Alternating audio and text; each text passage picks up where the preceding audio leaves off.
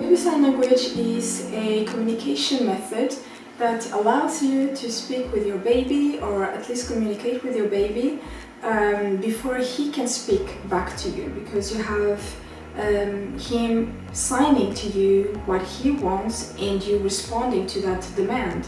Um, whereas in a non uh, signing uh, communication um, family, then the baby would most likely cry and then you as a parent you have to guess what is it that he wants. So is it water? No. Is it food? No. Is it a diaper change? No.